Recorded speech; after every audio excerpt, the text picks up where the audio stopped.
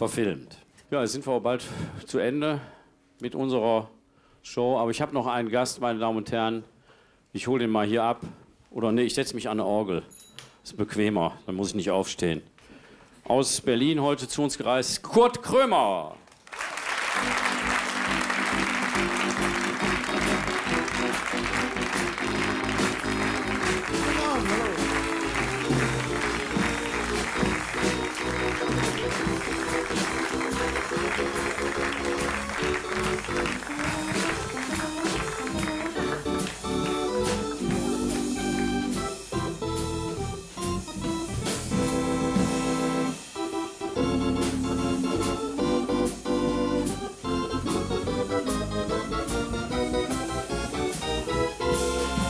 Kurt Krömer.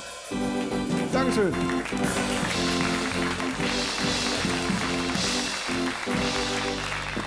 Kurt Krömer. Kurt Krömer. So, das ist er. Hallo Kurt. Hi Helge. Na, Schön, dass sollen wir uns auch, auch dahin setzen? Ja, In gerne. die, in die Sitzecke, wo wir alle schon saßen. Da saß ich mit Sibylle Berg, mit Sandra Hüller habe ich hier gesessen. Mit so vielen Leuten schon. Ja, nimm Platz. Und Helge. jetzt du, Schön, dass Klaus, du kommen konntest. Äh, Kurt. Kurt. Kurt ich bin Krömer eigentlich Sibylle Berg. Ich habe mich jetzt verkleidet. Nee, nee, nee, das ist, äh, das ist wieder Quatsch. Du erzählst manchmal so ein bisschen Quatsch, habe ich das Gefühl, auch in deinen Fernsehshows. Und der Name Kurt Krömer ist sicherlich ein Künstlername. Aber deinen echten Namen wollen wir jetzt nicht hören. Johnny Vegas. Richtig, Johnny Vegas. Mein echter Name ist Ron Hank. Und ich hatte gedacht, dass ich mit diesem Namen wahrscheinlich keine Karriere mache. Apropos Karriere, was hast du für tolle Socken an? Die gefallen mir aber. Ja, äh, habe ich gewaschen selber. Ist Ja. verfärbt. Ich hatte Ich würde sie äh, aber- schwarze Schlipper, rotes Ja. Hemd und die waren Das sieht sehr weiß. gut aus, die Farbgebung. Schwarze Schuhe, dann taucht das Schwarz hier wieder aus. Ja. Ach, du rasierst dich nicht, du gehst nicht zu Wax and Go oder Äh, sowas. doch, legst dich aber ich dahin. habe es heute nur bei dem Rechten geschafft und hier nicht. Also, das, Ja. weil das wirklich, äh, ähm, Ja, es viel dauert. Arbeit auch, Es ne? dauert, ja, Ja. ja. Ich werde ja komplett mit Wachs übergossen. Mhm. Also in so ein- eine Tonne reingesteckt und dann wird abgezogen. Das habe ich Ja. aber heute nur bei einer rechten Seite geschafft. Also Wachs in Ich der bin auch Tonne. hingefallen. Können wir das auch zeigen? Blut? Ach, das ist aber nicht so schlimm. Die, ist das so privat, so dein Outfit? Oder ist hast du gedacht, du müsstest dich auch so schick machen wie ich? äh, musst du ja gar nicht. Äh, aber nee, ist sehr schön, ist, sieht sehr gut aus. Ja, ist äh, Ton in Ton und also ich Ja. ziehe mich jetzt nicht um nachher noch, dass ich dann ähm, Ja. den weißen Anzug trage Ja. und die Schuhe aus Glas, sondern ich bin so gekommen. Finde ich gut. Wie alt bist du eigentlich? Ich naja, wär- ist ja auch egal. 30. 30? 38, Ja, ich- 38. 38. Ach, Nee, werde ehrlich? 38, So jung noch? Nee, du bist nicht 38. 38. Doch, ich, werde, 8, 38? ich werde sogar 38. Ich bin 37. Jetzt Ehrlich? bin ich 37. 37? Ich werde 38. Ja, komisch. Ich erinnere mich gar nicht mehr dran, als ich 37 war, ob ich da auch so crazy war. So. Das ist, sagt man uns jungen Leuten nach, ja. Ja.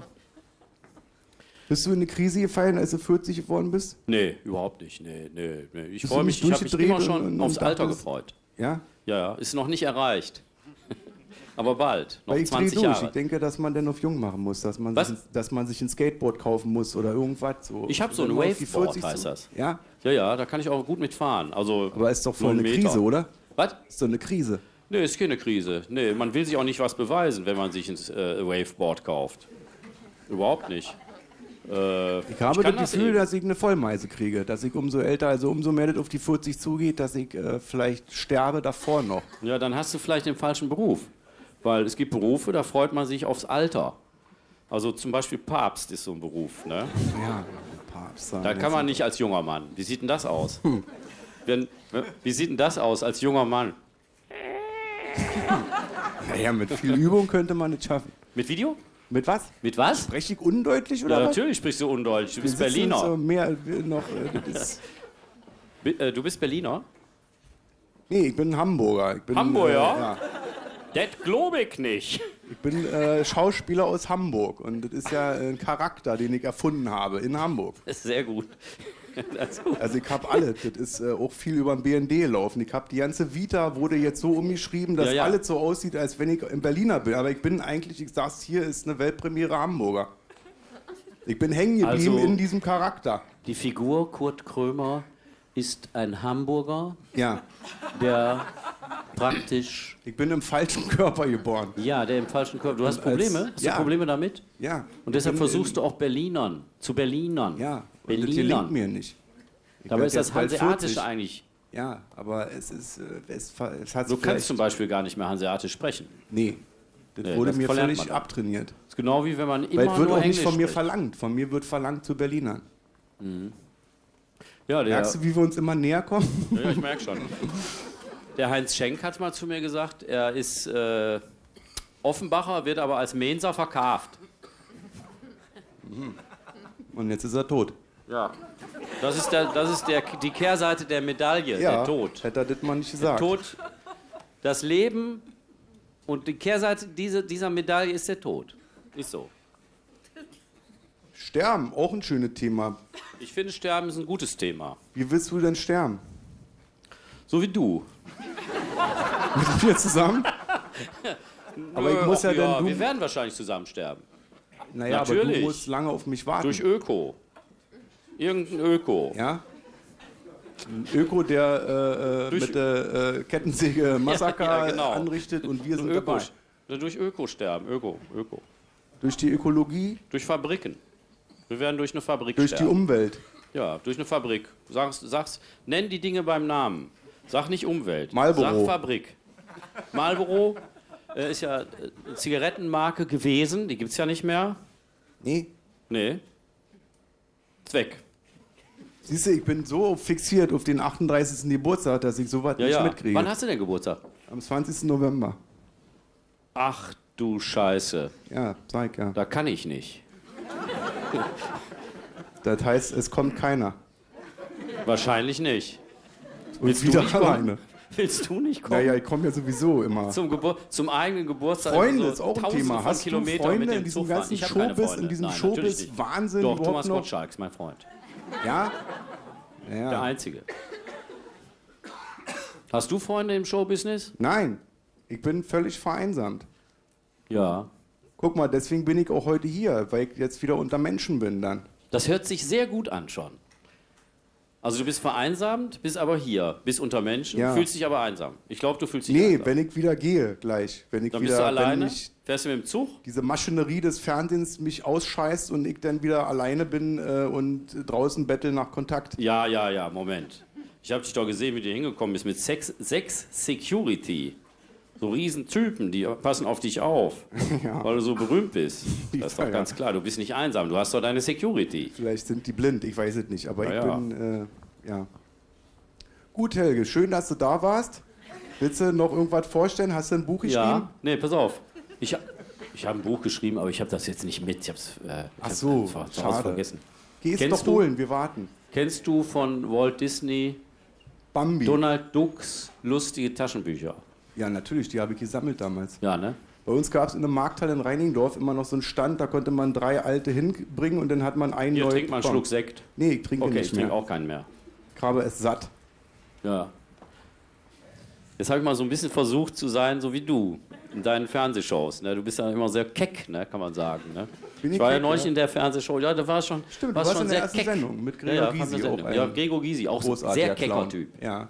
So Der- klein wie er ist, so keck ist er Der auch. klein, der, die kleinen keckern am meisten. dass nichts kann, also nicht genommen werden, ohne dass es sich dreht. Ja. Die, äh, Sie wissen, dass mein Geburtstag ist und ich habe auch noch andere Gäste. Ich erwarte die Dalai Lama, äh, viele andere Leute aus Politik und Showgeschäft. Und ich möchte jetzt noch einmal für meine Leser auch erklärerisch äh, kurz rüberbringen, wie ich zur Schriftstellerei gekommen bin. Ich bin nämlich eigentlich Pianist gewesen, konnte mich aber in der Musik nicht so ausdrücken. Und deshalb möchte ich ein Lied jetzt spielen, wenn Sie kurz das Mikrofon hier an den Flügel halten wollen. So etwas tiefer. Da unten kommt der Sound. Dort kommt der Sound. Ich spiele eine Komposition. Ich, ich spiele eine Komposition.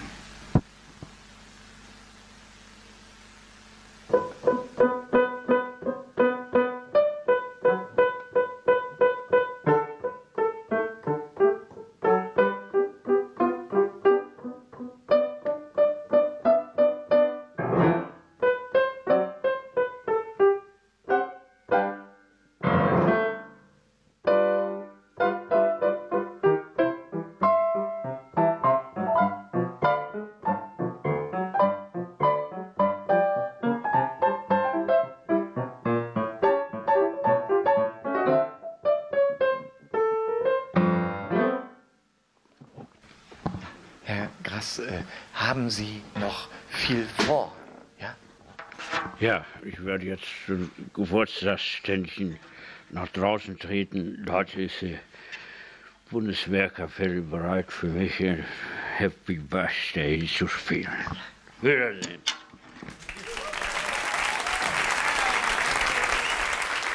Komm, wir gehen mal raus zu dieser Klanginstallation. Hast du das schon, schon Wind bekommen? Ich man ruhig gehört und wollte die Polizei rufen, weil ich mich gestört gefühlt habe. Ja, aber komm, dann habe ich hin. gesehen, dass das dazugehört und da dann dachte hin. ich, Komm, ich will euch da nicht mal den Arm kaputt machen.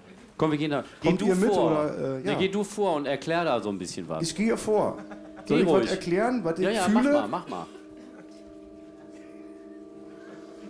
Ich fühle. Äh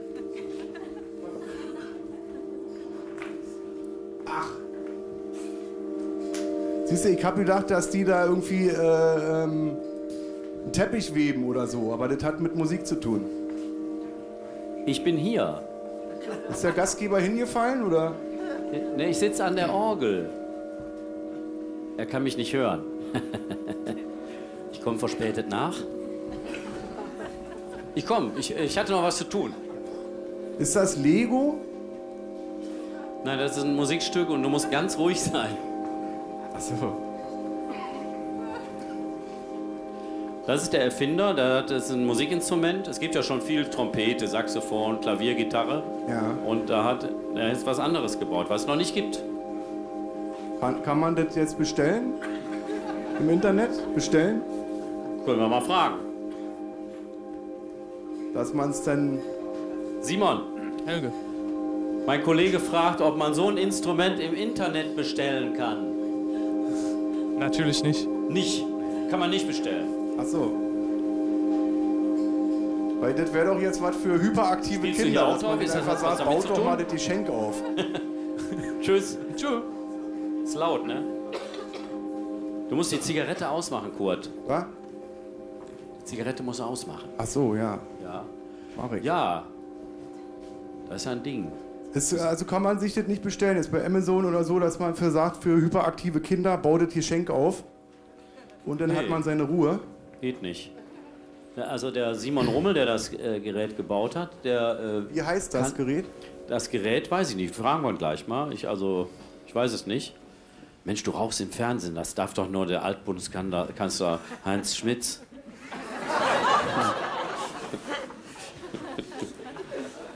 Ist, äh, ist ja keine Zigarette, ist ein Special Effekt, den Sie gerade sehen. Ach so, ach so. Weil Rauchen wäre nicht erlaubt, klar.